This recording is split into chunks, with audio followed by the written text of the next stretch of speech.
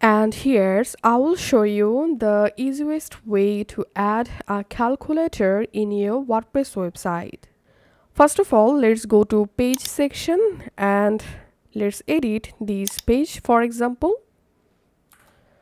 Once you are in the page or post editor where you want to add a calculator, all you have to need add a new block and select custom HTML block.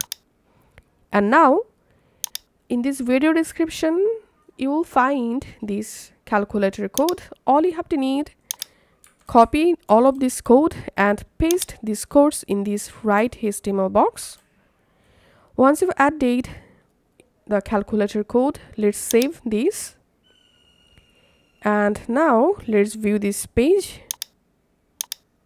And here we can see a very basic calculator successfully added in my wordpress website now let's make some calculation. So here i'm adding 5 plus 5 clicking on equal and here you can see the calculator is working perfectly. By clicking on the c you can remove everything.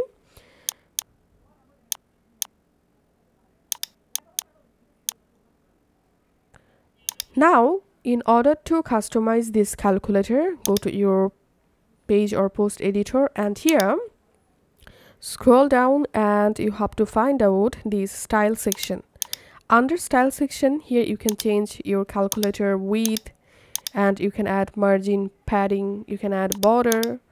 And here you can change display width and height. So this is the display. You can change this display size from here. And here you can see the button. You can change button from here.